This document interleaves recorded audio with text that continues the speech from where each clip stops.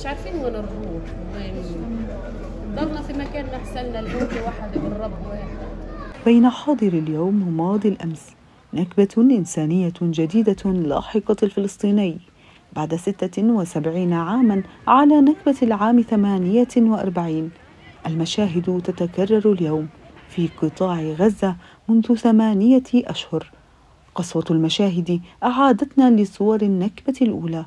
رغم أن مفهوم النكبة أضعف من أن يحتوي عمق حقيقتها وصلب المشاعر المرافقة لها من معاني القتل والتهجير والإبادة الجماعية.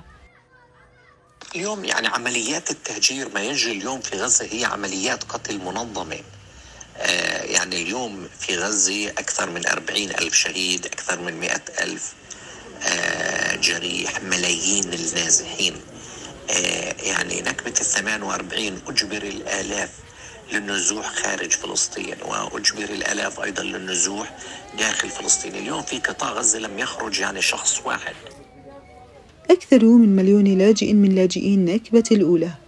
يسكنون قطاع غزة يواجهون اليوم خطر تهجير جديد من شمال القطاع إلى جنوبه ومن ثم النزوح نحو مناطق الوسط.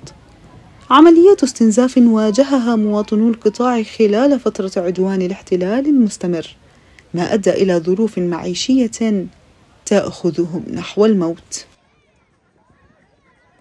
أما بتفكروا يعني الحين الناس هذه اللي قاعدة تطلع. فكروا أول حاجة القرار اللي أخذوه صعب صعب جدا. إحنا هنا جربنا ننزوح بدل مرة ومرتي أنا كمان من غزة نزحت برضه مشي. كانت كمان مرتي يعني والدة جديد ونزحت مشي. وجت عندنا دب قعدنا 10 أيام 11 يوم في خان يونس واخلوا خان يونس وجينا هنا هنا على رفح الحين رجعوا من رفح على خان يونس. لوين نروح يعني؟ مين مين بحس فينا؟ مين بحس بالكلام هذا؟ ليش صرنا زي الطابة كل يوم في الملعب؟ في ذكراها السادسة والسبعين يترجم مصطلح النكبة نفسه على الأرض. لم تعد ذكرى تاريخية بقدر ما هي واقع مستمر يرافق أحفاد اللجوء.